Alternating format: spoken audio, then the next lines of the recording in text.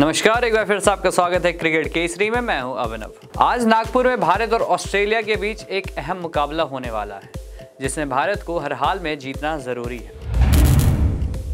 इसके लिए भारतीय टीम नागपुर तो पहुँच चुकी है, मगर कल भारी बारिश की वजह से टीम नेट प्रैक्टिस नहीं कर पाई थी।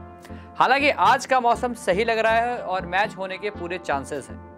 वहीं आज होने वाले इस मुकाबले से पहले भारतीय टीम के स्टार खिलाड़ी सूर्य कुमार यादव प्रेस कॉन्फ्रेंस के लिए मीडिया के सामने आए और कई सारी बातें टीम को लेकर बताई। पर इसमें जो सबसे बड़ी बात उन्होंने बताया है, वो तेज गेंदबाज जसप्रीत बुमराह को लेकर है। उन्होंने बताया कि बुमराह बिल्कुल फिट है और कोई चिंता का विषय नहीं है। उनसे जब सवाल किया गया, तब उन्होंने कहा कि वास्तव में मुझे इस बात की जानकारी नहीं है, यह मेरा विभाग नहीं है। आपको मुझसे इसके बारे में नहीं पूछना चाहिए। इसका जवाब देने के लिए फिजियो और टीम प्रबंधन है। टीम में माहौल अच्छा है और सभी खिलाड़ी फिट हैं और दूसरे टी के लिए तैयार हैं। बुमराह भी पूरी तरह तैयार है, चिंता की कोई बात नहीं है।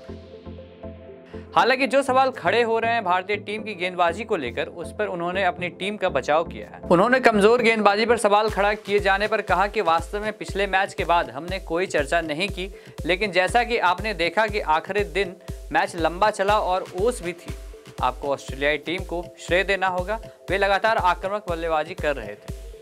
वहीं आपको बता दें कि भारतीय टीम के गेंदबाज ऑस्ट्रेलिया के खिलाफ पहले मुकाबले में काफ़ी महँगे साबित हुए थे। एक अक्षर पटेल को छोड़कर सभी गेंदबाजों ने लगभग 11 के औसत से रन लुटाए और ऑस्ट्रेलिया की जीत आसान कर दी।